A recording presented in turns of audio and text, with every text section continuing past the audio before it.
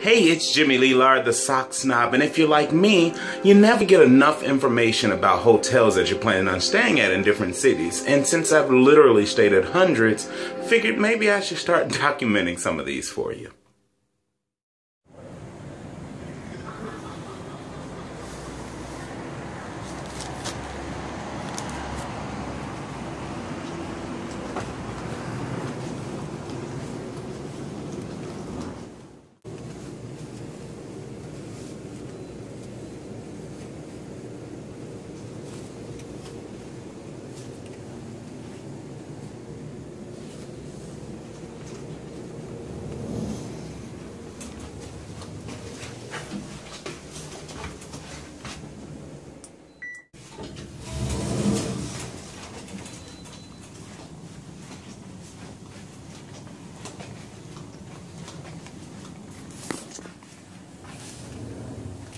The hell?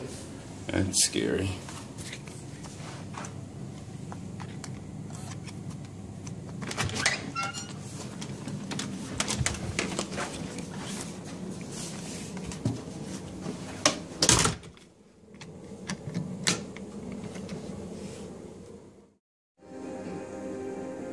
Hey, it's Jimmy Lee Lard, the sock snob, and I've just checked into my hotel room in Paris. This is my first hotel. I will be checking into another one once the rest of uh, my friends arrive. So, wanted to, you know, dispel some of those American values we have as far as hotel rooms. So, this is pretty much what you get when you are booking a hotel in Paris. So, the rooms are tiny.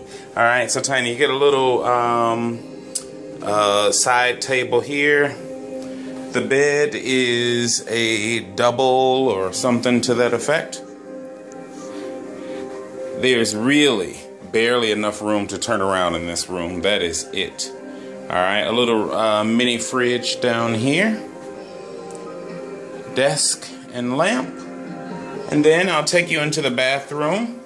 So you see, everything is tiny when it comes to um, uh, Europe. So here is a shower tub combination. Look at how high you have to step to get into this tub. I don't know if that translates well on the video, but it's a big step. All right. So this is the shower, rain shower. So modern amenities. This is a Holiday Inn, the Holiday Inn Paris Saint-Germain-des-Prés. And uh, like I said, be here for one night, and then I will show you guys my other room as well once we all get checked into that. So that is it, everybody. A little TV over here on the wall. This is what you get for a couple hundred bucks a night in Paris, uh, U.S. dollars, and that's it.